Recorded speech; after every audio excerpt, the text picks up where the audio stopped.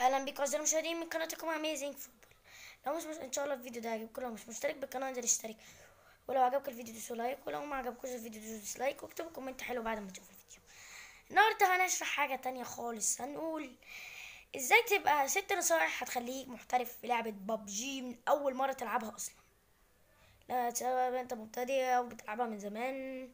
أو أول نصيحة معانا إن أنت تلعب ما تلعبش بأنانية العب بجماعي. يعني مثلا بتلعب بقى مع أربعة يبقى ما تكونش أناني مثلا.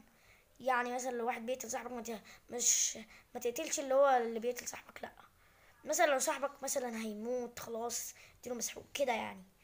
ده هيخليه إن هما لما هو لما يحصل معاك حاجة زيهم هيعملوا لك نفس الحاجة اللي أنت عملتهم فأنت كده بالطبع هتعيش طبعا. ده أول يا جماعة أول أول نصيحة. تاني نصيحة هو إن أنت تنط بقرب من واحد صاحبك. يعني تنط صاحبه يعني تنط بالطيارة وأنت جنب واحد صاحبك. عشان مثلا لو نزلت في حتة فيها بقى ناس محترفة بقى وجامدة فإن أنت حتى لو ضعيفة برضك هتلاقي يكونوا مثلا كتار يعني يعني عددهم كتيرة جدا. فانت هتنزل مع صاحبك هتبقوا عاملين زي فرقة كده صغيرة فبتساعدوا بعض مثلا لو ده مات خلاص ده يدي للتاني مسحوق إيه، التاني فكده يعني. فبتبقوا عاملين زي فريق صغير.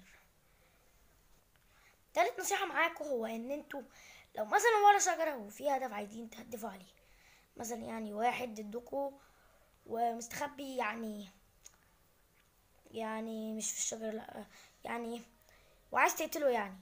فانت في الشجرة ما ينفعش بقى ان انت تطلع كده بجسمك كامل بقى كده كله.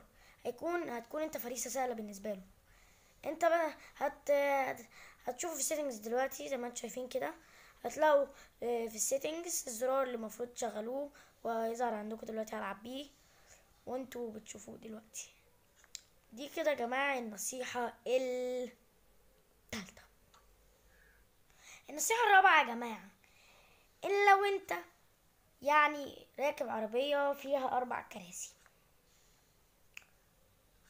أنت لازم في الحالة دي إن أنت تقعد ورا. تقعد ورا مثلا لو في واحد ما شافكش إن ورا هيدخل هتقتله هيبقى فريسة سهلة جدا بالنسبة لك. هتشوفوا الزرار دلوقتي اللي هيكون في اللعبة وأنا بلعبها دلوقتي أهو. هتلاقوها آه، زي ما بقول لكم. زرار كده بتتحرك بيه إن أنت هتعمل. دي يا جماعة كانت النصيحة الرابعة. النصيحة الخامسة والقبل الأخيرة إن ال في حاجة زرقاء كده طبعا يا جماعة أنتوا عارفينها. لو عدت من عليك بتفضل تموت وهي بتجري بسرعة جدا مش بتعرف تلحقها علشان تعملها دي بقى إن أنت لازم تبقى في دايرة كده لونها أبيض زي ما أنتوا شايفين اوريها لكم في الخريطة دلوقتي. دايرة كده لو فيها هي بتفضل تصغر تصغر تصغر تصغر تصغر لغاية لما بيتبقى آخر ناس اللي هم المحترفين بقى وأنا قبل كده عملتها أنا وال... أنا وأصحابي كنا بنلعب أربعة كان لسه النهارده الكلام ده. كسبنا الجيم وخدنا المركز الأول يعني خدنا 15000 جنيه آه، في اللعبة. فيا جماعة لو الزرقاء دي دخلت عليكم لازم تكونوا أنتوا في الدايرة. عشان لو أنتوا بره الدايرة خلاص اعتبروا نفسكم أنتوا ميتين. فلازم تكونوا في الدايرة. أول حاجة. والدايرة تفضل تصغر تصغر تصغر. انت لازم تكون مجهز لنفسك لأن لما الدايرة تصغر خالص هيكون بقى ناس فيها محترفين كتير. أيوه بقى. يكون في محترفين كتير جدا بيعرفوا يلعبوا جدا. لازم تكون مجهز نفسك من الأسلحة من الطاقة من كل حاجة. من القنبلات من كله. دي يا جماعة كانت النصيحة الخ- النصيحة السادسة والأخيرة.